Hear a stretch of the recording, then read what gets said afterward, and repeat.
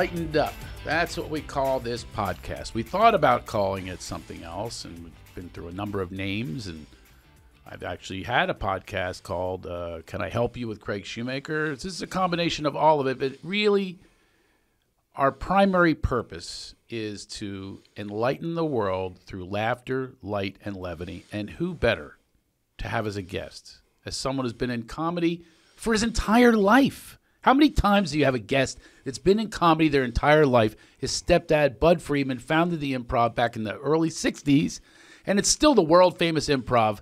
Budd Friedman, but that's not who our guest is. Our guest is the stepson. that's all I could get. That's Great intro. I really feel good about myself. That's really good. we don't have Budd, but we, have this schmuck. we got this. Uh-huh. We're going to talk like Smirnoff the entire time. Nobody knows who he is. Everybody thinks it's Yakov Smirnoff, by the way. That was- They I know? Yakov Oh. Smirnoff, but nobody knows Bruce Smirnoff is our friend.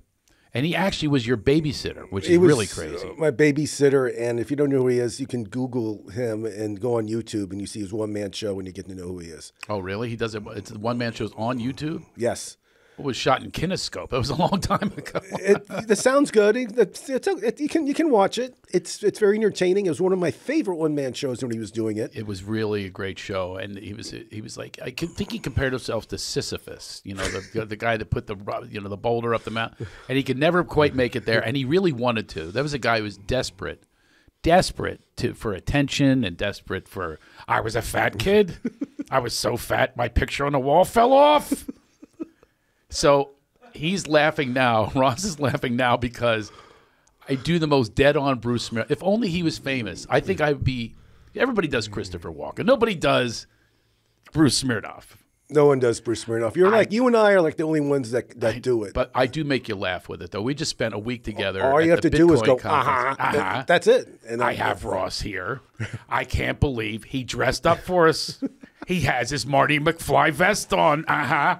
He looked in the mirror and said, How can I look more trashy for this big podcast? And he expects a big intro. Mm, ain't going to happen, babe. You got to think about what you're wearing. I hope those sweatpants you have underwear on because I don't want to see the outline of your balls. Thank you. Uh-huh. So, Ross, you're a little different in front with a microphone in front of you. I've just spent the entire week with you, but I can see you're like concentrating on on what's he going to ask me that has anything to do with the Well, podcast. you're you're the. I'm usually doing the interviewing, so I'm the mm-hmm. interviewer. So That's true. You have a podcast. I'm trying to listen, and I'm trying to be respectful. And I don't, don't wanna, be respectful whatsoever. I, I don't want to. I don't want to be somebody that takes all the time away. And Oh I- no, take it, Ross. This is your podcast. This is you, baby. It's Ross the boss. Be the boss, baby. I am playing Ross, the uh, uh, Ross, Ross, Ross, the good guy. No, Ross at a loss. Ross at a loss. So as you mentioned, we did go to Miami. We went we there. did, we were there for a week. That was the longest week of my life. Come on, you say that with Oh, me right in front of I you. I, you but it spent was most of it with me. It was just the same people, the same conversations. it was, you know, I mean, it was a nice convention. It was really, you know, you and I both had the whale passes. I still have mine on. I know. I love that you have your whale pass. I forgot to By take the it off. way, you don't might not want to walk around when people don't know what it is with a sign that says whale on you, Got it right here. Espe- especially because you know you're not like uh, that thin. So, you know, Son of a. you don't want, you don't want to walk around. Hey, look, I have a bracelet, It's- and it comes off if I lose thirty pounds. It says whale on your on your wrist. I took mine off right away. I did You snapped it.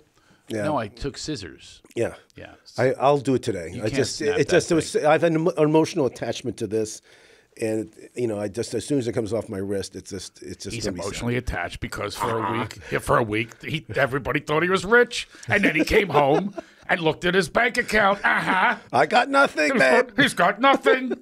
You know what you have? Nothing. So, uh, yeah, Smirnoff is our is our favorite comedian. But when you say he's the funniest comedian out there, like ever, do you think I mean, his he antics off stage. I mean, material wise, no. No, that's true. His But his his off stage antics and just the character and how he's always been single, and he's always complaining and he and he gets jealous of every neurotic. comic every comic that makes it. He gets Oh, mad. yes. I mean, you know he, and you know he's been around a long time. I mean, Bruce Bruce has been long long time and he had many opportunities and he failed at almost every one. And he talks about it as one man show, and it's it's it's really if you have time, try to watch it. It's Yeah. really good. Now, before we move on to your career, which we will, Okay. I did want to tell you the story. This is a great time to tell it about Smirnoff in acting class. Okay. By the way, uh, listen to this. There's two people listening in the other room, right? Watch how they laugh at one of Bruce's jokes. See, he really does have some, some funny material. He does, but you. I But, move- I but hold on, you say the jokes a lot better than he does. Your timing is twenty times as better than his. This comes from the expert who literally chose the last comic standing cast. You would choose them every week. I should have gone on as him. I would have. I would have made I it. wish I wish you did Come I would have been grand champion of head of Dat Phan. you, Uh-huh. you would have been you would have been great on that show actually. I could have been Vietnamese and 20 pounds. But people were actually the first season of that show. People were scared to do it. They didn't know what it was. Yeah. and they knew like American Idol. They knew they didn't know what Last Comic was. They a lot of people thought they were beneath it. Well, And- some people did it though that were big time pros, like Kathleen Madigan. That was the second season, not the first season. Oh, I see. She Kathleen, I actually managed big pros Kathleen. the next year. Yeah, I mean it was like the, the second year it was Kathleen and Alonzo Bowden and Yeah, Rich Voss. Rich Voss. I mean I I called Ralphie May. uh, Ralphie May was first season. Oh, he was the first Yeah, season. Ralphie May was first season. We With discovered that him. Phan one. Dat Phan won. Uh-huh. Great story. Uh, That's a great story. It's another story that makes me more resentful.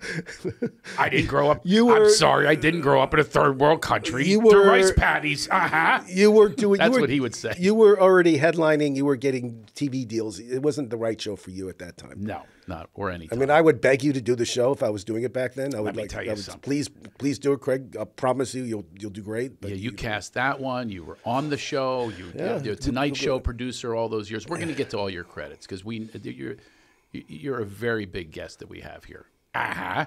He's wearing a whale pass. so I'm going to tell you one Smirnoff story. This is for the entertainment of everyone out there. Everyone is going to Google him. He's going to have this huge career based on this podcast because we find him to be very funny. He's, as you know, very shallow, right? And everything was about his agenda to make it, to get back at all the all the girls that didn't that thought I was a fat shit kid.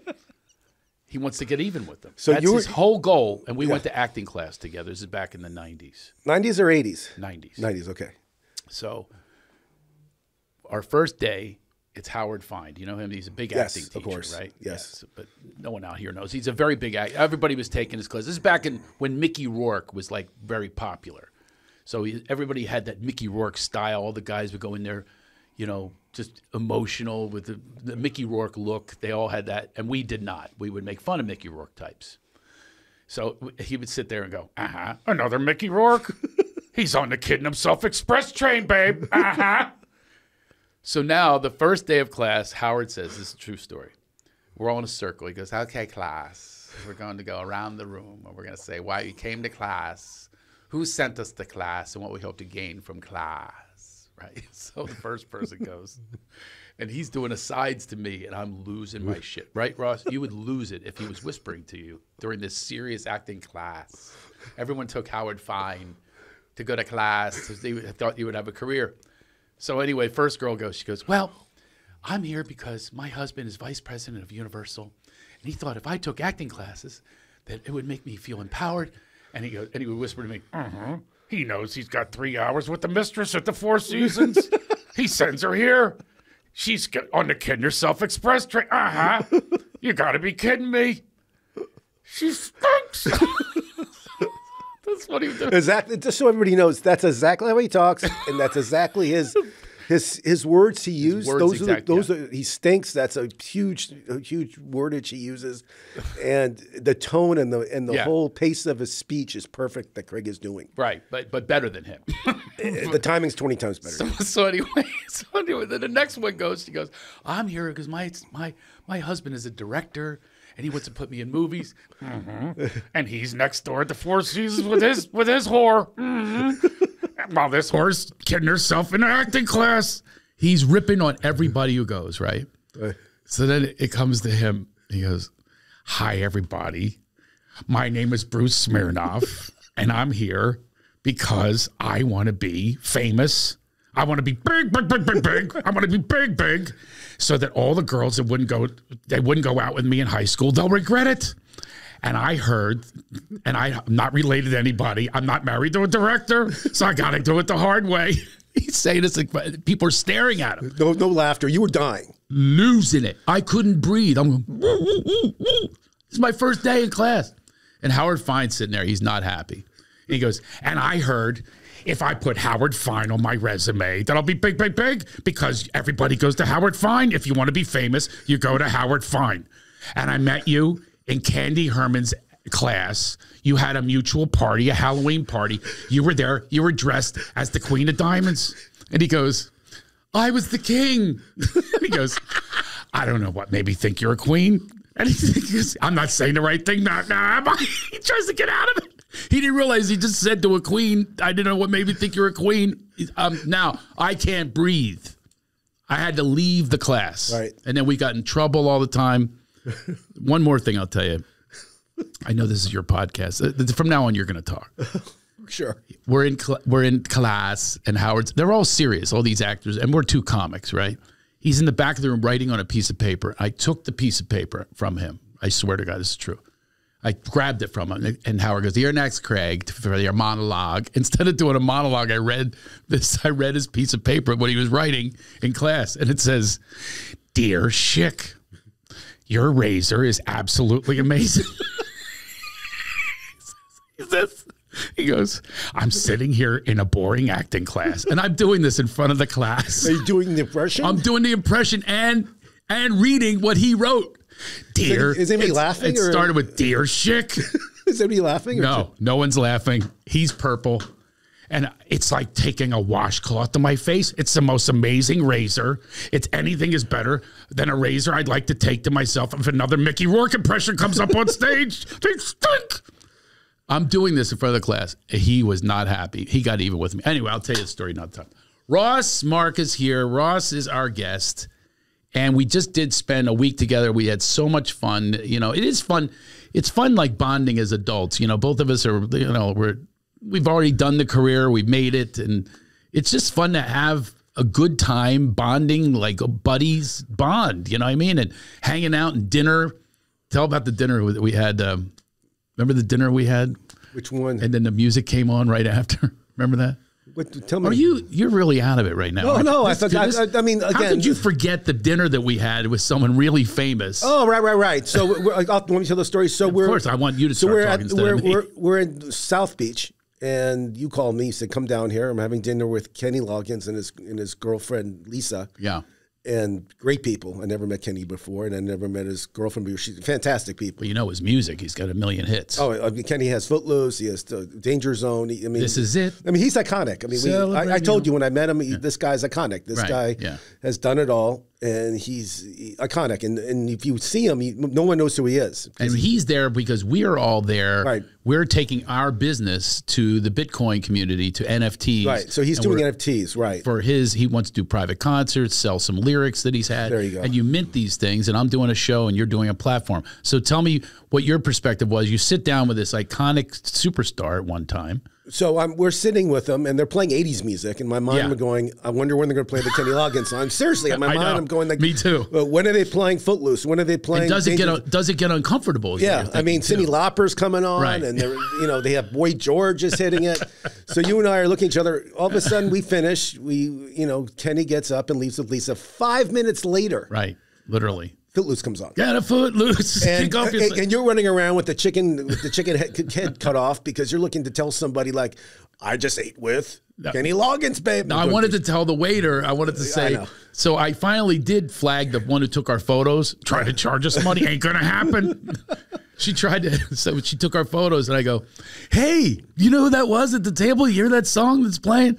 And she goes, "I don't know this song." So that was. That was the end of That that. was it. That was Yeah, it. We were the only ones impressed. That was it. But I mean, we we spent a lot of time with Kenny, and I mean, there was a lot, uh, tons of people were there. I mean, there was big, big people in the Bitcoin community. and- yeah, it was fun to get to know the and- business. And you and I, like, we're not experts in Bitcoin, but after that whole week, we became pretty knowledgeable. I mean, I Yeah. I, I can hold conversations now about Bitcoin, and it's an entirely you know it's obviously you and i you know you and i come from we come from fold a dollar bill and go here you go here's for Yeah. here's for some new braces for your kids You know, that's how we exchange money but now they're going you just press this button and all of a sudden you'll have a wallet a crypto wallet which i had no idea until i got there about all of this and it's really going to be the wave of the now. It is and, the future. And it's last the wave night, of the now. Yeah. I watched. I don't know if you watched Billions. I watched Billions last Yeah? night.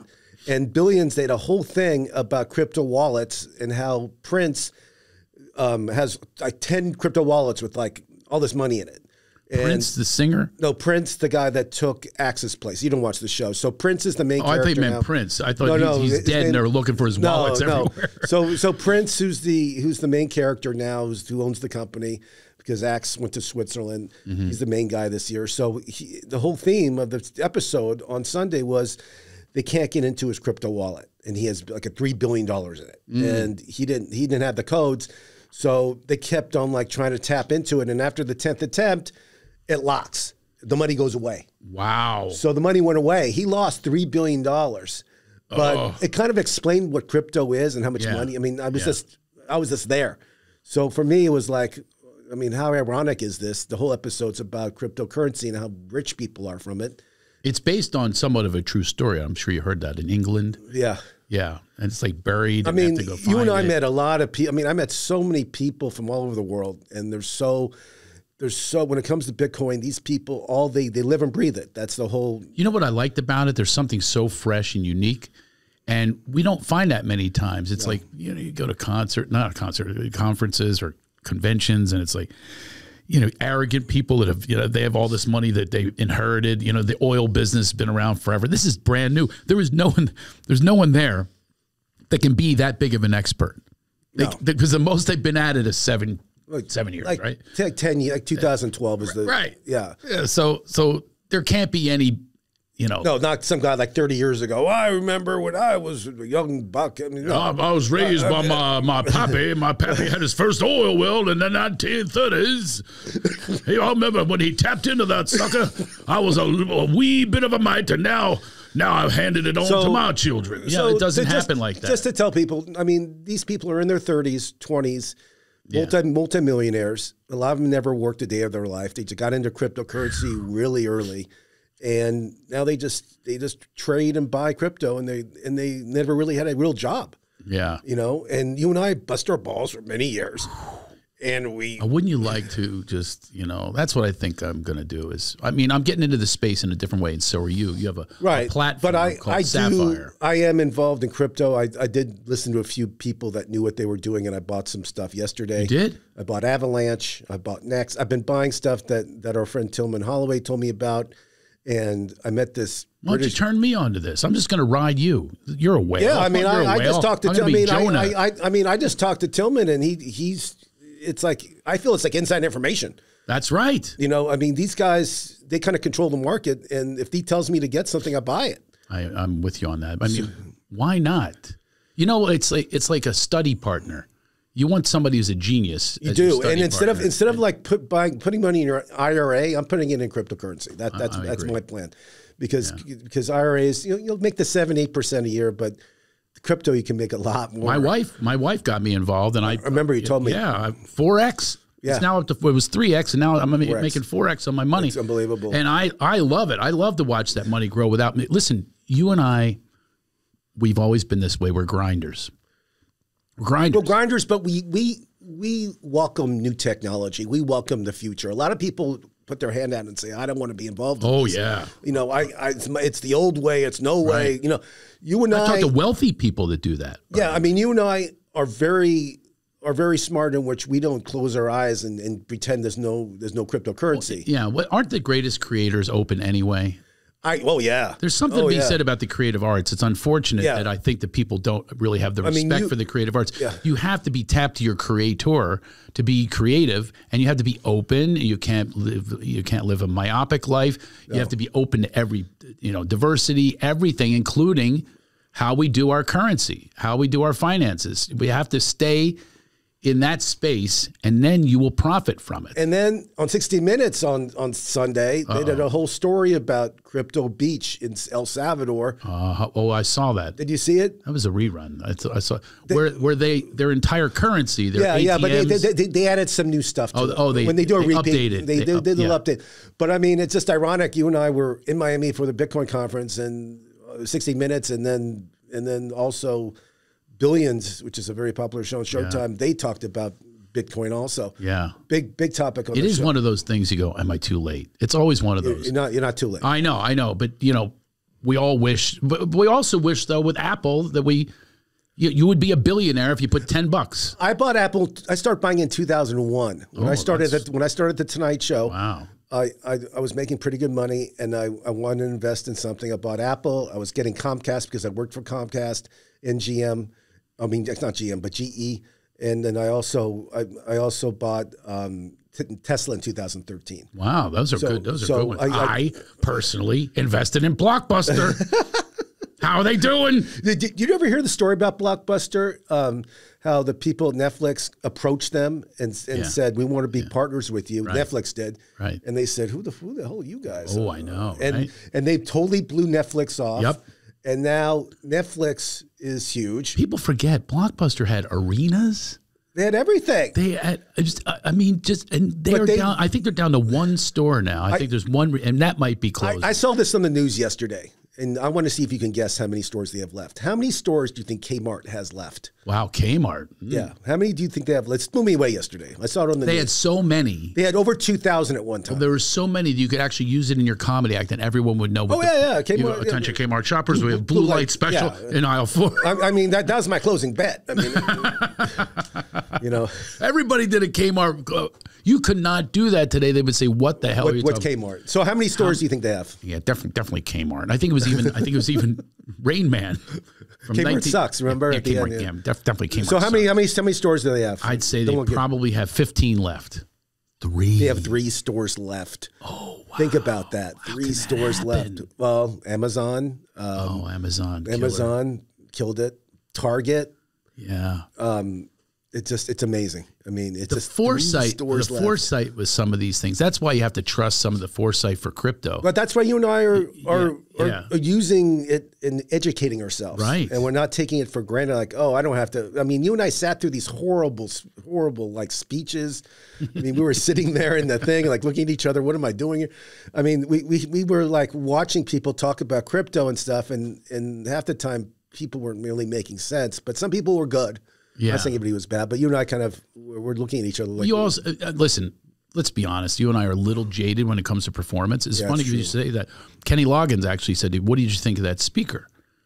Now the he's asking me, a comic and a speaker, And a speaker. at a high level, what Very I high, think of another speaker, and I had to be honest with him because he was impressed with the speaker, and I said. I took him down this road of where I thought the guy wasn't authentic. And, you know, these are the things that I do in my coaching is like, no, you want to be really genuine. And I thought you can, you know, all the tricks. Like one of the tricks is when in doubt, say fuck. that. That's And an actually, old so comic did you, trick. Did you see that young guy, how he did that? Yes.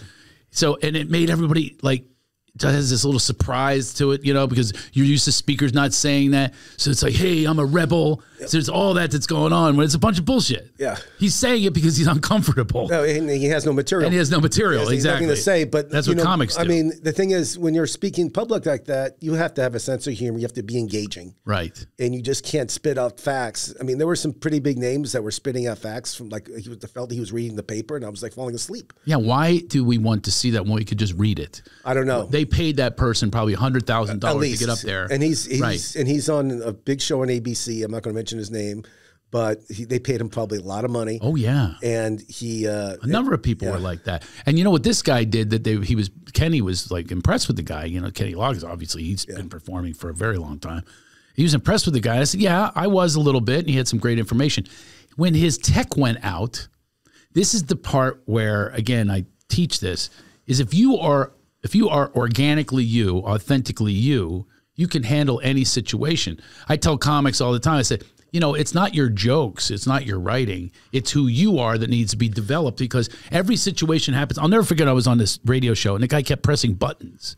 Like sound effect buttons, you know this guy. He's there. Okay, bing, boom, boom. You know, I'm going. What the hell? I'm trying to fit a joke in here, and he's going. You know, I'm going. Okay, so then I'm on Howard Stern the following week. You have to adjust to all of your environment and all the changes. Lights could go out, microphone goes out. Who are you that responds to that? This guy, his tech went out. He had no idea what to he do. panicked. He probably panicked. He panicked. Yeah, He didn't know what to do. He was yelling. You know, come on, somebody help me here. you know, and in and you know situations like that, like yourself, you have many years of experience. You know how to handle any situation. You've been in horrible one nighters. Every single every situation, situation imaginable. you've been in, and I was in a mall performing in a mall, and Yeah. all the lights went out. what happened? I I did mime. I was up there, Marcel Marceau. Nobody knows who he is. Anyway, I had to adapt. That's what you have to do. You have to You have adapt. to adapt. You have to be a marine. A marines adapt. That's and, right. And a lot of people can't adapt. I mean, you and I, It's a good analogy, by the way. yeah, you and I can adapt in any situation. I mean, I, I can do it anywhere. I can if I'm in a any any situation I can adapt to. Right. Um, if somebody's being not nice, I can adapt to that person. Wow. Yeah. You know, I, I know how to handle people, and and uh, you know, it, it's it's a gift. It really is. And you teach you teach that to people. You teach people how to be funny, how to be articulate, How, to, bring out their own sense of self and therefore sense but it's a skill set, and Yeah. and you you have it, and you know how to teach it, and people should actually take advantage of it a lot more. Yeah, here's a fundamental question I have for you. A lot of people ask me: Do you think you're born with the talent of of comedy? I think it's, I think it's growing up and being situations like if your father's funny, if your mom's funny, if you're if you listen to comedy albums back. So it's the day, environmental. it's environmental. I mean, I So you believe anyone is born? yes, I mean most comics I know comic. all have stories how they listened to Richard Pryor, Right. how their dad was really funny, or their mom was, or Mm-hmm. they watched certain shows growing up, and and it, it it's an it's a totally environment. I don't think it's like you're born with it. Um, I think you're born with maybe having some experience of like talking to people and not being shy. I think that that's that's a trait that people are born with, not being shy. And, and Don't you find that some comedians get in it because they're shy, and it's this is how they? Oh, yeah. That's this is how they. I mean, I, I know comics that are horrible off stage. Yeah. And you and I, you know, I'm not a comic, but you off stage, you know, you're you're great. I mean, you're fun to be around. People love you. But I know comics that are bitter, mean, angry.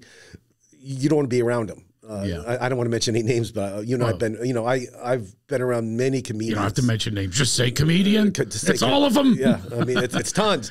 But it is. It is a lot. Yeah. Have they carry a misery, and misery does love company. And I've noticed the miserable comics hang out with other miserable comics. And what's weird is, to be honest with you, I have felt like not a part of.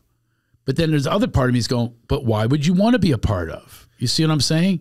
Yeah, but you were you were really balanced. You had a family, you had kids. You you didn't have to hang out at clubs at night. You didn't have to go to the comedy store or improv. There's a night. lot of people that have kids, but my point right, is, right. But you you were not they a would guy. still go to this comedy store late at night or improv. And I just saw the 50 year anniversary of the comedy store. Yeah, I was there. I got my name on the wall and all that, but I was not a hang guy. yeah, but you were there at the at the party. Did you go? No. Oh, no, we- it was, it was during it was during Miami. Bitcoin, yeah. yeah, yeah. So I mean, And I again, don't. I don't even know if I was. I was probably not even invited. I was never a regular. That's what I'm saying. You were a guy that never that never hung out at LA clubs. You never did. I mean, you would come in when I was working there. You would come in and do a guest set. Right. You would do something for the industry. Um, Right. You would do stuff like that. But you weren't a guy that would sign up for sets. I mean, when I was growing up, Richard Lewis was there every night. Rick Ducommun was there every night. Mm. Jay Leno. I mean, Jerry Seinfeld. We're talking, Right. you know, these great comedians back in the '80s, and even like, you know, like all of them. You know, even Oh yeah, you. uh, they all were there. You've seen every one of them grow. Yeah. But my point is, a lot of them like to hang Yeah. in that vibration of negativity, and that's why I avoided it mostly. And yet, there's the other part of me that's kind of jealous. Like I'm not in that crowd. Like we've had a lot of comics pass away recently. Yeah. And you see how they hung with the comedians who are really upset by it. And you know, I, I just was never that close with any of them. I mean, uh, No. I mean, not not like enemies or not even, you know, I like I knew Bob Saget, I know you know Louie Anderson, I love these guys, but never that close. Where this group, there are these groups that hang out with one another, and uh, it's truly a mourning because they lost their brother or their sister, Yeah. whoever it is. But I have more of like I lost my friend from kindergarten. That's more. That's more. That to me is impactful. And- I think about him every day. Frank Cassidy. He was my accountant. I shared a milk and carton, you know, carton of milk and a cot together. You know, I mean, this is a guy that still is my mom's accountant. Like our fan, he's family to us. That's somebody that you have an attachment with. I But, mean, but this is, but they make the comedians make the club their family. they do. I mean, I'll give you an I saw the documentary by Mike Binder about the, Yeah. the comedy store. I mean, there was like Norm Macdonald, for example. When Norm passed, Yeah. The first person I called was Bob Saget Right. because Bob directed him in, in Dirty Work. Mm-hmm. Bob was I don't know if you saw his eulogy on on his on his podcast. It was unbelievable. His eulogy about Norm was I was, Yeah. Mm-hmm. I was in tears. Um, it was great. And then a few months later, Bob dies. Right. You know, and that whole group is like Adam Sandler, Rob Schneider, David Spade. Uh, even like Adam's producing partner, Allen Covert, was a comic Sure. back in the day when I remember. the Improv. Allen, Yeah. he wasn't that he wasn't that good, but he he he got his he he got he he attached it to Adam, and who's Adam's best friend. A lot of them did that. Spade attached himself to Dennis Miller. Yeah. I remember when he was first starting, and he was with Dennis Miller a lot of, and then that's where the friendships develop. Yeah. Whereas, you know, like I said, I get a little jealous, but then the part of me is going, "Hey, I'm going home to my family." Yeah. And really enjoying them way more than I would uh, a lot of times Hollywood or transactional relationships. It's like, well, if you're hot now, I'll be your friend, or if you can do something for me, and I'm not into that. I cannot jive with that. I never told the story. So I was working at the Improv. I was booking the talent on Melrose, and uh, back then it was like who's who in comedy. And Adam Sandler was in town, and he would call me as Bernie Brillstein, like do the impression, and say, "This is Bernie Brillstein. You can't give. I don't want to mention the comic's name. I don't want this guy getting spots at the Improv anymore. You know, He did an impression of him. a Bernie." And He did. He did. That could have been. Hold, let me yell at somebody for a second. Who's talking loud out there? You pain in the asses. I can't hear it. But long story I- short, I- long, long story I short, hearing. But I, co- co- comics get jealous and Yeah. they see somebody he was being real though. It wasn't like a joke. He was really pretending. I, I was knew it was. Adam. I mean, Adam called and I said, "Hey, and he was doing it for real It was- though. he didn't break character at all. And he was like, you know, this is Bernie Brillstein. You know how Bernie's really Yeah. Uh-huh. aggressive and very loud. And, uh, you know, Bernie, if people don't know, he was probably one of the biggest comedy managers ever. Ever, yeah. I mean, he has, has books out and he's, um, and, you know, he, uh, I produced he's, a, he's a a lot legend. of television shows. he's a, he's a legend. I mean, Ber- Bernie's a legend. you see that at the end of uh, most of the credits. Brillstein Grey. Brillstein Yeah. Grey. So it- so yeah. you know, he would call me and whoever the comic was, he would say, "This is Bernie Brillstein." no, it's hilarious. and you're going Adam. I, I no, it's Bernie. Adam. but I mean, I, I totally forgot about That'd that. be funny if you did an impression of your stepfather, Budd Friedman. I've done that before. Tried, I- I've done that a million times. Uh, you know, comics calling and they want to talk to Budd, and, and Budd doesn't want to talk to people. Speaking of Budd Friedman and the club, that was the other thing. I came here kind of like a little, you know, a little bit of a guns, gunslinger. Me, Richard Jeni, John Mulrooney, and we really got our chops back east with doing one night Jerry Stanley gigs and things like that. So when we moved to California, we really said, "Okay, move over." Because we have these bar chops. You guys, I mean, I remember when you moved here, and Mulrooney too. Yeah. and you and, J- and Jeni was one of my favorite comics. I oh, mean, Oh, I mean, his, his his all time, he's probably one of the best comics ever. Ever and people don't realize it. Richard Jeni, No, he would he his would take a joke. was so good. He would take it down to the carcass. There was So nothing good. left on that bone. and he was so epic and Yeah. so good, and it's a shame that he died so early. But what I'm saying, what I'm saying to you is this: I mean, you you came to town and you were ready to be seen. I mean, you, you, Right. were, you were this open micer guy. You were headlining. You did a lot of impressions. which- Smirnoff would call me up and go, Do it. "Hey, how you doing, babe? You know why I'm calling you? I'm kissing your ass because you're going to be a big, big star, and I'm going to be the neighbor. I'm going to be the annoying neighbor on your sitcom. Here comes Bruce. hmm And personally, I think you stink. You stink. These people are coming all. Budd Friedman comes all over you. I don't get it. so and- Budd, Budd was uh, obviously a big judge of talent. yeah. And you observed this, him being your stepfather. What was that like? I mean, to I learned a lot. I mean, I, I I booked the comics on the Tonight Show for 15 years, so I broke a lot of comedians from Last Comic Standing from the Tonight Show. A lot of people you see on TV now, or th- that are headlining theaters. Or Who's, headlining- who's your proud? Give me your top three proudest. Weren't much when they came to you, and you kind of discovered the Probably stars. Kevin Hart. I, I Kevin Hart? Kevin Hart. I mean, he was. He had the sitcom. The sitcom failed. I He put him- did? yeah, he had a sitcom on ABC. It was. It was, it was No one talks about it, but I put him on. A, I put him on as a lead guest on the Tonight Show when he had nothing. I, I, I never, I know, and then I would say, lead guest on the Tonight Show. yeah, lead guest. What are you talking about? The lead guest? well, I mean, he he he had to have something to be a lead guest. he had. I forgot. I forgot. I forgot why we put him on, but I just I told my boss we got to put him on. And he killed it. Kill, oh, yeah. And then Louis a C.K. I. Louis C.K. I put on as lead guest. um, Jo Koy, I gave his first Wow. late night, his, his first Playing late night, stadiums now. first late night. Um, These guys should all give you a little vig. They should. They, they should kick you. Gabriel Iglesias, I so put you on can last dress better, stand. Ross. So Somebody should. Somebody should send you a pair of pants. I mean, there, there, has been a, new lot vest. of a lot of comedians. I like this vest. It's a, actually Michael Jordan vintage. okay. Um, but a lot of comedians. I mean, back in the day at the at the Improv, I put Fallon, Jimmy Fallon, on the stage in L.A. for the first time. Yeah. I mean, no one knew who he was. He was this young kid doing uh, tr- troll bits. He troll dolls on his guitar. Yeah, and he did guitar. I was did- approached by did- his manager. Remember who his manager Randi was? Siegel. Randi Siegel comes up to me. I, I was at Caroline's packed audience. Everybody always uses my audiences. they literally I, do. I, I had to because your audiences are really smart. yeah, it's smart, and you know they're, they're Mid, up and middle they're- age. They're, They're not. They're not like. Right. Not, they pay attention. they're not punky kids, and you know with an have, attitude. You have a great audience. so uh, she comes up and she goes, uh, "My client, uh, Jimmy Fallon, who I'd met before, she says uh, he's auditioning for the for the Saturday Night Live," and I said, "I said, you know, I don't like people going up during my show course. because I was I consider myself a play. You don't go to to rent and say, listen, I've got this whole bit that I want to do."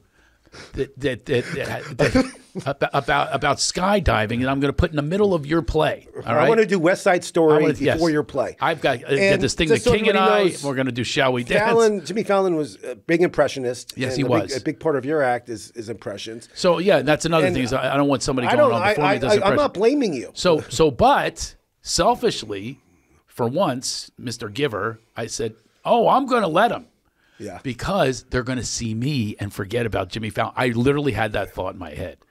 So I'm going, wait, till you see me, and I do a long set. He's he's just doing ten minutes, you know, in the middle of the uh, anyway. So it's Caroline's and Broadway in New York. They have eleven people from Saturday Night Live Yeah. there. I'm going, wait Michaels till they Lorne- see was me. Lorne oh, there? the whole works. The whole they're all they're all there ready. And she says, oh, they they you know they want to sign. Oh, but they're going to forget that. Yeah. I swear to God, this is true. He goes on. He, he did very well. He killed. Yeah. I go on stage. Hey, everybody! Eleven seats, all empty. They signed him in the other room. oh, boom! That happens all the Exodus. They just all they all they cared about. They weren't there for a night of comedy. No, they, they- had an they agenda, and this person that they picked was that's who they were going to see. Yeah, they wanted to see Jimmy. He was 23, 24 years old. Yeah. He started off the turnip truck. Right. And very, he was green. I mean, he, only had five minutes of material. I mean, Yeah. he, he did troll dolls and impressions like, you know, singing. It's his personality. He's got a great personality, and it's very engaging, Very, and yeah. childlike. You know, kind of. Pee Wee Hermanish. Exactly. I guess, but it's not a character like Pee Wee Herman. This is who he, who he Right. really is. But I mean, stories like that with you, it happens all the time. I mean, there was uh, so many comedians are are involved when somebody gets broken and, and are there when it happens. I mean, I, I you know I was there. I was there for the big Conan when we remember the twelve thirty show and they picked Conan to take that. Jon which, Stewart. which people were like, "Are you it kidding was, me?" it was John John- Jon Stewart audition. It was his to have. It was his because to he was big. He was. He had a. He had a show on like MTV. Oh, he was. I mean, I, I and Conan didn't even go on stage. He was like, No, you know, he was he's a like- writer. Mm-hmm. he was a writer, Harvard guy, worked for The Simpsons, and he got the job, and it all worked out. I mean, his he was on the air for many years, but Oh, yeah. I mean, it would have been a little different if Jon Stewart had that twelve thirty spot. What do you think would have been different? He would have had the Tonight Show and succeeded. Oh, I think so. Really? Oh yeah. I mean, he's a stand-up. I might debate you on that. I think Jon Stewart's brilliant, but I don't know if brilliance goes for on that in that slot. In that slot that Johnny Carson had, not Johnny Carson was Yeah. brilliant in his own way, but not in a way of making you think. That's not what Johnny Carson did. When Jimmy Kimmel's not a stand-up, uh, Colbert's not a stand-up. right. Conan O'Brien wasn't a stand-up. That's true. Johnny wasn't a stand-up. He Johnny was a, wasn't man, he was a magician, Yeah, yeah. was a magician. Jay was Jay was a stand-up. Joan Rivers was a stand-up. Jay was a real stand-up. Oh, that's, he, that's he'll die. and- and- Jay, Jay- Jay's going to die on stage. Yeah. He- I mean, he's going to die eating a pizza right before he goes on, and he'll he'll die on stage. That that's how Jay's going to go out because he loves performing and he loves telling jokes. He lo- He he's loves a joke smith, He- he loves which made him awkward at first, or even for a while on you know doing a talk show because he's just going, I want to tell a joke here, and that's something you have to literally train yourself not to do. He's trained joke, joke, joke, joke, joke, joke, Joke, joke, joke. set up joke, set up joke, set up joke, set Yeah. up joke. And now he's ha- trying to have a sincere conversation with people that are promoting their movie. It was tough. I mean, we, I, I. I produced a lot of those Yeah. segments with with celebrities, and you know, we went over the segments at lunch, and I had we had to drill it in his head like where we want to get what story, and you know, it, it was tough sometimes. It was challenging, but Jay, you know, Jay, all he cared about was the monologue, Yeah, his exactly. cars, Right, and his and his gig that night. Where, where's he going on the plane Right. to do a gig? That's all he cared about. Yeah, he, he, didn't would care go. about. He jets off, and I heard that he does the same material every time for tw- 20 Oh, years. that's why he never did an HBO special. He Yeah. never did it because he didn't want to burn the material. If he did an HBO special, all Yeah, that material he can right. never do again, and you, you know that. Yeah. and that's. I mean, a- they, they've a offered him millions of dollars. brilliant to do Netflix. tactic. And he doesn't. He doesn't want to. He, he does not want to burn it. You know, and He still does like you know. I remember I opened for him when I was a kid. I was so ex- excited, and I remember I seen Reagan cut the food for the blind today. Oh, I think they could see if they put their minds to it. I I always remember that joke because that's Reagan was in office. That's how long ago it was in the '80s, and I was so excited to open for him. But my memory of him is chicken. He just would eat fried tons of fried oh, he, chicken. he eats like a. He's sixty eight right now. He eats like a least. teenager. He goes to McDonald's twice a week. Twice a week, he'll go through the. I mean, food for him is just like a energy source. He doesn't enjoy, and when when he brings food back to his house, he'll eat standing up. I mean, he he, he and he doesn't. The thing about Jay is he he doesn't drink. He said he's never tasted alcohol. Okay, What? And I Wow. said I said I was at the Improv many times with you, and I always you always had like a Coors Light, Miller Light in your hand. He said, Ross, I never drank it. I wanted to fit in. You know, he wanted to fit in with people, so he I feel never like I'm getting a scoop here on Enlightened Up. he, he never he never he never took a he never took a sip of it. Wow. He was just he just had it so he could he could feel he's part of the gang. Isn't it incredible that this generation now already they don't know who he is? They don't know who Johnny Carson is. No, not Johnny Carson. It, I That's mean, fascinating to me. I mean- such a legend. I mean Johnny Carson's iconic. I He, mean, he's he's the bar, the gold standard that no one, will, I would say, in our history. Well, you can't anymore because there was only three channels, and I- anyone who would compete with him, they got defeated right away. I wonder if Johnny would have been me too'd. I mean, if he was around now, Hundred percent. I mean, I think so too. Oh, just looking at Charo's breasts. I mean, I think he I would think do. he would have been me He would have women on. I mean, like I know some of the women he slept with, and back in the day, like a long time ago. Yeah. And some of them like kind of worked for him and stuff, and he oh. would have been me too'd. You know, Oh, I mean, he would have been out. Well, um, don't you remember some of the bits he would have? There was like that one blonde. She would always come Cis on. Rundle. My mom and her were good friends. Oh, yeah? I had a crush on her. Oh yeah, Hilarious. And she she married the guy from Bruce Springsteen, that Nils Longren. Neil Nils. Nils Lofgren. Well, she married him. well, he's married to Amy. I, a- I happen to know that. But look at he he oh, he was once he- married. yeah, to he was married to Cis. from. No way. he was married to. You can look it up. And she was married to Cis for a long time. Wow. And um, she was like a play. You know, she would be the girl in the jacuzzi with Johnny. She was- Exactly, you know, yeah, she she was you know she had a great body. And, Right. Um, uh, you know, and he would go, Ooh. And a- you know, it was always a- some a like perverted story. little lurky thing. I, I'm a big Cincinnati Reds fan. I was a kid. I was probably 12, 13 years old. She was she was dating Johnny Bench. So we went. So we so we drove. She drove my mom's Cadillac. To that the, must have thrilled you. we drove my mom's Cadillac to the game. yeah. And um, after the game, we met Johnny like outside the locker room, and he drove us back to his house. To my house, I didn't sign all my cards. Yeah. and uh, Wow. he took Cis and he took her back to her place. He's talking like Smirnoff now. Uh-huh. But I mean, so I mean, it's just stories. That's the like only that. way Smirnoff gets laid is in other people's stories. Uh huh.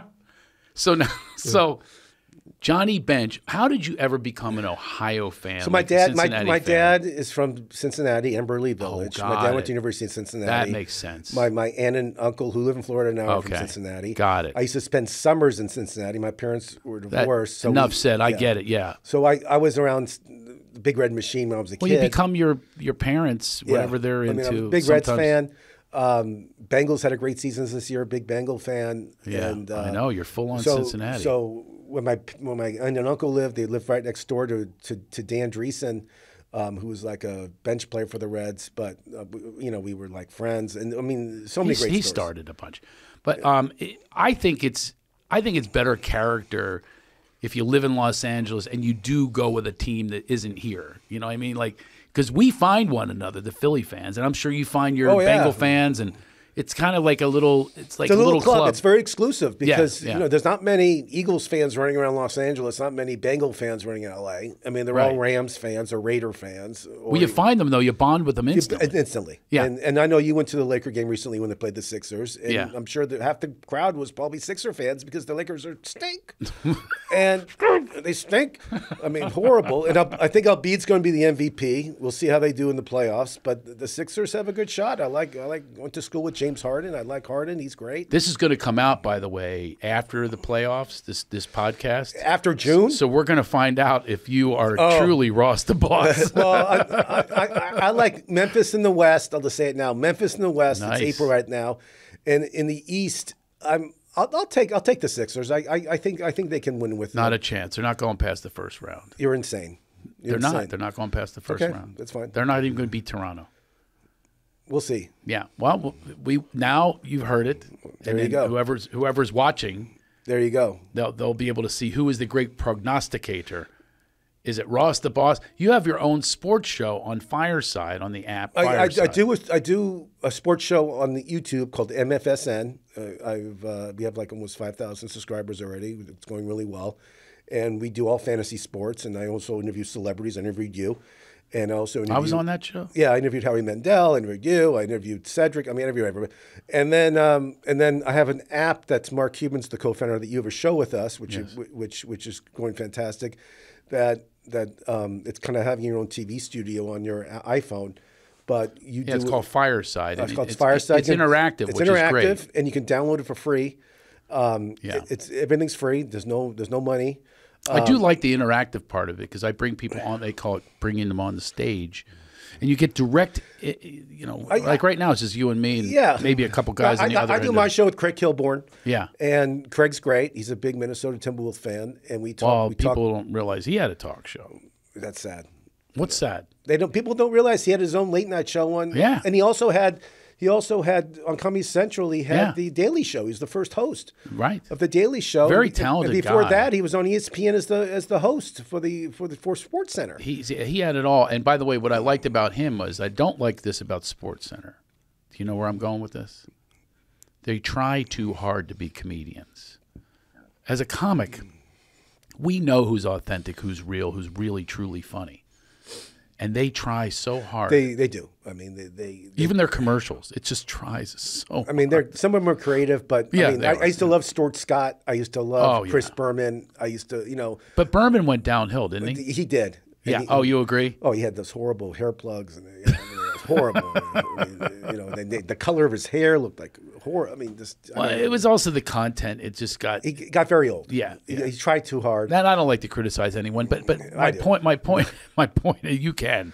Well, you were a judge for all of those years on Last Comic Standing. Did you ever have a situation on Last Comic Standing where you've just felt so bad, but you had to say it anyway? I gave people people got mad at me because I was hard on people, and I You told, were. I said, were you diff- more difficult than Bob Reed? Oh, your I was? I was the Simon Cowell. But You were? What I told these comics, I said, listen, if I was nice and there was no moment there, you would not make the cut. So I had to like get it out of you, like what's wrong with your act, what you should change. I would say like, have you ever made anybody laugh ever? I mean, I, I would say these kind of things to people, and, and you can go to YouTube, you can watch it. And there was this not- guy, that there was this guy, they had music, the, there was like a Wild West Did you ever make you as a? Did you ever you- make I, I- I said, I have a question for you. Have you ever made anybody laugh ever? And the guy would look like at me like I was crazy. And then no, you're an asshole. That's uh, what yeah, he's but if, thinking. if I didn't, like Simon. right? But if I didn't have that kind of fun with people, Yeah. Again, I I, I was doing it so they'll get on TV because I know Because they're going to make the cut. they're going to make the cut because there, there was a moment there. Simon Cowell, I've seen him say, "Stop, stop, stop," and he has them do another song even, and then then there's this. Oh, I would do that all the time. There's this big victory stop. though when they nail this song, because and then Simon gives the thumbs up like, "Hey, I helped you," like a producer. You're acting like a producer, which is what people should do. If we glad hand everyone, how can you get better in life? Anyway? Exactly. And I would tell people you got to have an opening joke. You got to. Ha- I gave them suggestions. I said you have Yeah. you got to have a throwaway joke in the beginning. You you, you got to have a joke like. I have, a, I have a question for you about comedy. You've been around a long time. What comic do you think has the most laughs per minute? It's he's not famous, but this guy would have laughs like every twelve seconds. Or I, I mean, I I had like a clock going on when I was at the improv. Like Laughs, going to give you a really weird one. I, mine's weird, and you know them.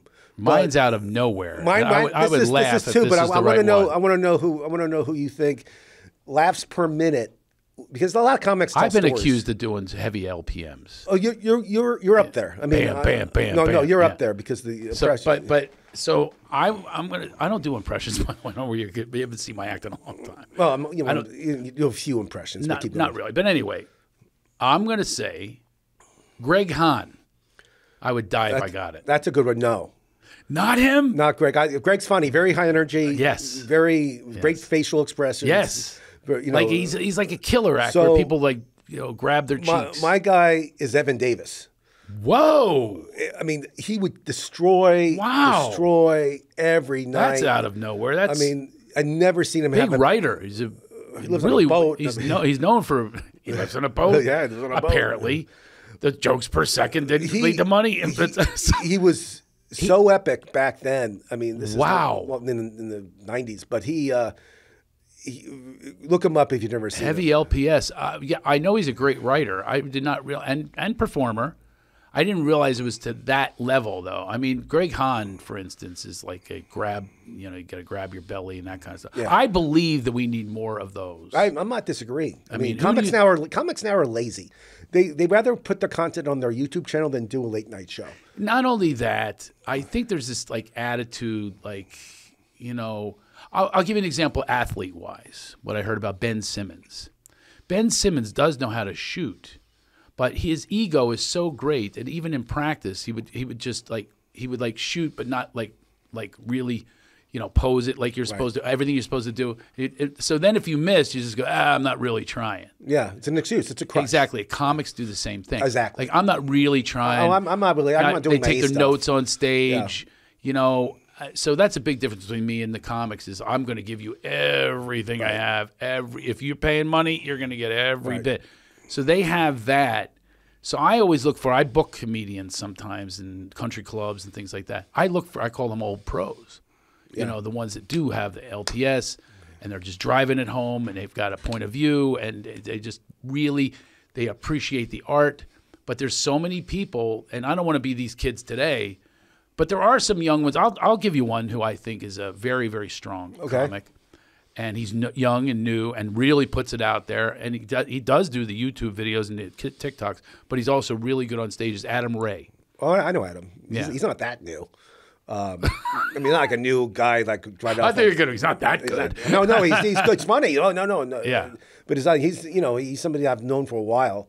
Uh, very funny. I mean, he's he's like you said, he's cut from the old school cloth that has jokes, But he's a young guy. but he works on his craft, and he he technically is he is young. I mean, you're 100 percent right. Yeah. and, and he's not lazy. I mean, he goes No, no. I mean, he's he. I mean, these comics. He give he gives it everything he has. He doesn't go up and throw away his set. No. he really he really is No. committed to it. But if- and that's the thing is, that- and it, I realize the throwaway is a fear. That's really what if you boil it down to, they're afraid of looking bad. They're afraid of their ego, so they just go, "Ah, I wasn't really trying." If you and I went to the Laugh Factory Comedy Store Improv, even Ice Yeah. House, and you went on for 20 minutes and did your set that you usually do, I don't think any of these guys can follow you. Um, 99% of them can't follow you. I find I don't think they can. I find that people. This is going to sound weird, but um, black people can follow me pretty easily, and If, if they're high I energy, easily. if, if they have, if I they, should easily. But there is something that happens. They're mostly white crowds that we work, right? right. But there's something that happens if someone is African American. I don't even like to say the term African American. It could be from Britain and uh, African Britain. you know, I mean? know. I use, They're I, black. I say black. I Yeah. mean, you know, So I have a bit in my act. I go, you know, we, we always whisper it. You can't. You always go, he's black. you look around first. Black. I go, what'd you say? Black. So anyway, I have found I have found that black people.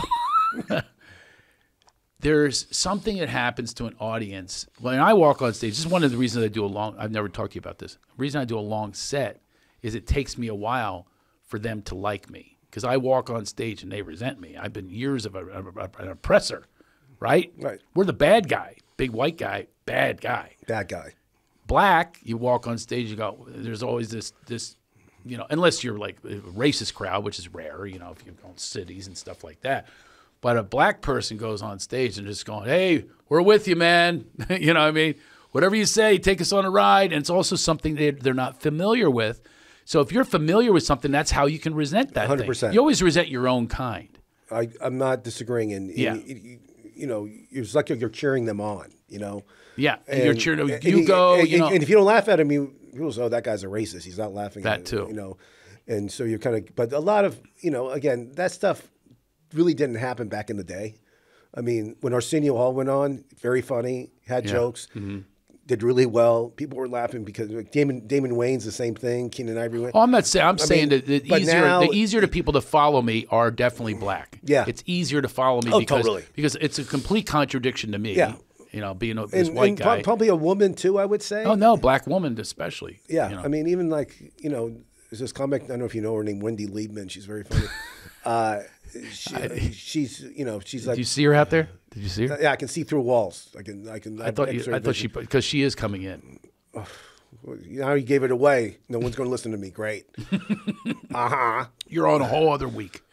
We we stack these shows. I know we you do. we, we release them weekly every Thursday, and you're going to promote us on your on your Podcast. podcast. I will. exactly. All right, Ross. Man, we could just go on forever. I have a gift for you. Is it one of these Emmys? I got I got a big laugh. Yeah, I'm going to bequeath you one of my Emmys or my little. I'll give you a trophy. I don't want to try. I have enough trophies. You're going to like this one. This is my most cherished. Look, I got comedian year, American comedy awards. All these little I was there when you won that award. I was there. Were you really? Yeah, Budd. Budd was the executive producer of that show. We, Oh. we had to oh. go every year. I, I oh, Had sat, to go. I, I sat. sit- I had to go. I Had to sit through your victory. I, I sat with Rick Greenstein, who used to be your agent. Yes, I, I was at his table, and you know what? He's part of my joke that I told. I said all these people are like him and my manager at the time, Alan David. Alan Dave, that's his name. They would say, they'd that's say, his name they'd, with the cigar. they'd say, uh, Love that guy. you know, you're going to thank me, right? People would ask me Yeah. to thank them. Oh, I'm talking loads, accountants, whatever it was. I said, you're going to thank me if you win, right? I think a lot of people thought I'd win. So it's like an Oscars for comedians. And anyway, so I said, eh, you know, I won. I get up there. I and remember. and I said, I said, a lot of people asked me to thank them for helping me with my career. I said, I'd like to take this opportunity. I already know them. I'd like to take this opportunity to, to thank the people I'd like to help me with my career. So I'd like to thank Mel Brooks, Stevie, Stevie Spielberg, Marty Scorsese. That's great. And- and That's how I approach it. That, that's great. And you know, I Rick, quick Rick Greenstein story. I Yeah. love this story. I, I, because it just it tells it tells you about Budd. So Budd and Rick. you Budd Friedman. Budd Friedman was having lunch at Mommy's Own back in the day with Rick Greenstein. He was a brand new agent at APA, at APA, and he scheduled his lunch. He thought it was a big shot, so he wore his best suit, this white, beautiful suit. Uh Uh-huh. White. white, beautiful suit, like brand new. He was really proud of it. And Budd sits down. Budd orders pasta. Uh-huh. Budd's known to like stain everything he has, everything when he's. So Budd's eating. The pasta splashes, hits the suit. Rick didn't know what to do, and, and Budd sees it on his suit. And Budd, this is what Budd says. I said all the time, "It better you than me." So Budd thought that Rick did it, but it was really Budd who did it, and, and he like ruined this suit, beautiful brand new suit. But so I still say like, "Better you than me." It's very very funny. do both of them know that story? Oh yeah, see I, I see Rick at Christmas sometimes. Uh, we, we go to the same Christmas party once in a while, and That's great. And I bring it, I bring it up all. I love that story. You know what he did for my career? Nothing. all right, here you go. Here are vitamins for you. Hyest vitamins. These are really great vitamins. I have great hands. You know, did you notice how how I had all the energy in the world when I was at that convention? Uh-huh. How much energy I have? You had a lot. You weren't even drinking Coca Cola or any caffeine. By the way, we would meet we would meet people, and and uh, Ross would go up to the hot women and go, you know, he's on the cover of Billionaire magazine, and they believed you. Oh, they- would like- I've never been so wanted. They would squirm like so fat. They would like it was like right to you. And like When would you walk said in, that, oh, they they, didn't- like, and you know these girls were just all smiles. It was oh, they didn't even if they and- if I was on fire, they wouldn't piss on me. there's no such thing as Billionaire magazine. I know, we just knows. made it up. We just Craig made it up. I thought it was a great line. because billionaires wouldn't want to be on the cover of magazines because they don't want their name out there. Uh, but, but Nobody's Craig, going logical but, when you're. but, but Craig had the whole look. He had the jacket. He had the hands in the pocket. He, he look, you look like a, I didn't realize that was a billionaire with look- you hands look- in my you look pockets. good. You look like a billionaire. feeling my money that's in there. you look good, but we, we did have a. I'll let you go, have- but we, we did have a great time in that conference. We sure did. We- And, uh, yeah. I'm so happy you. And by the way- I'm so happy you came with me. Isn't life great though when you can have fun while you're making money or Yeah, while you're I learning? mean, if you if you don't if you weren't there and if I wasn't there with I you, know, right? You and I would you know I would be going crazy. I mean, I probably would have come home. I if mean, you, if you I weren't mean, there, if you my weren't boy, there- my boy Ross was there. By the way, those vitamins. Well, I'm gonna try hi- these. Hyest vitamin. You're not going to try them. You're going to have them all. And if you want to get new ah. ones, you get it twenty percent off if you use the promo code Laughter Heals, and fifty percent of the proceeds. oh, go to your your comedy your your charity's called Laughter Heals. That's exactly right. Uh-huh. That's what it goes to. It's great for energy and focus, which you need, babe. I need a lot of help. he needs help. His legs have been twitching around the entire time. You know, Len, Leno does the same thing. I, I, I, with his legs. He, My therapist used to say to me, "Your leg is saying something." Yeah, the Leno would sit down with him. He'd be like this. My partner you're about to meet, Shell, he has the same thing. Yeah. the leg. It's- just it's just a going. nervous I stopped it because this therapist had me. He said, "What is it saying?" So you have to feel what it's saying. I'll go over it with you, Ross. Our time is up. Okay. Listen, I hope oh, Ethan Cole can. Oh, I have an Ethan Cole candle for you. Look at this. Oh, the wife is gonna love this, bro. Smell this. Smell it. I can't get it to you. Uh huh. Lavender, rosemary, mint. These are Ethan Cole candles. Now go there. Go for your Christmas presents. I am telling you, women go crazy, right? and it's natural, and it has a wood wick. It has a, a nice sound, like a burning fire. I'm going to take this too. This is great. You actually might get laid. Uh-huh. anyway, Ross, always fun having you. Ross Mark, uh, go p- check out his podcast on MFSN, Fireside. MFSN.com and download the Fireside app. There you go. And Craig does a show every week, and he has great topics and great stories, and I come on all the time with him, and Yes, you uh, do. We have a great time. It's fun. All right, well, wear sleeves next time. Ross I the wear boss, Ross Mark, real pleasure having you here on Enlightened Up. Hey, by the way, everybody, remember this. Enlighten the fuck up, will you? See you next time.